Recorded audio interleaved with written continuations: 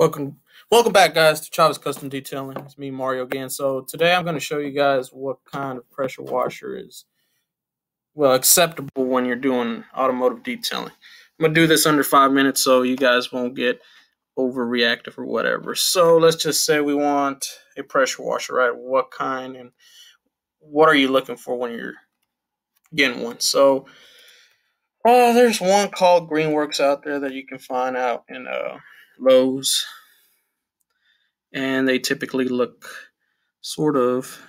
Let me go over here then. Pressure washer because they make a lot of stuff. So we can look at this real quick. You have your regulars like this one right here. This one right here is their certified one. Whoop de doo, right?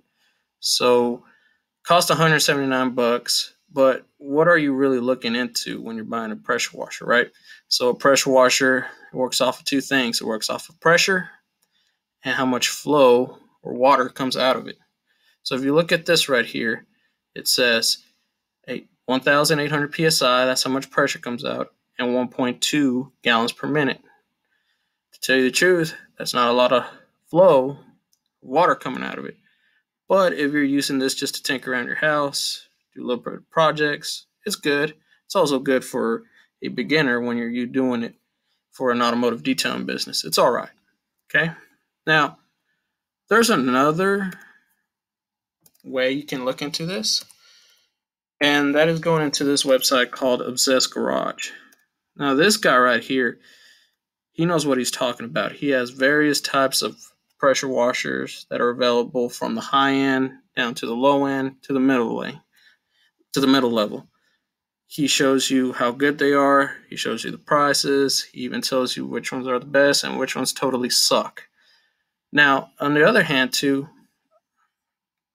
he also has a spreadsheet that shows each pressure washer that he tested individually from the Kranzles, which are very nice, Comets, Greenworks, Ryobi's, and it tells you everything that you need to know from PSI, flow, amperature uses, and it recommends you how to make it better by using different nozzle sizes.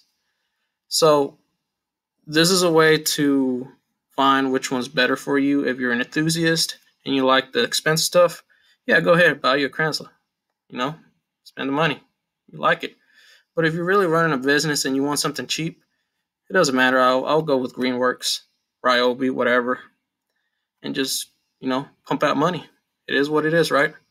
So hopefully this video shows you what to choose from a pressure washer and what to look out for of your needs and your wants. So hope this helps. This is again Mario signing off again. Continue to subscribe for this channel. And yes, I am back. And let's keep on going. So next time. I'll see you. I'll see you guys later. Bye bye.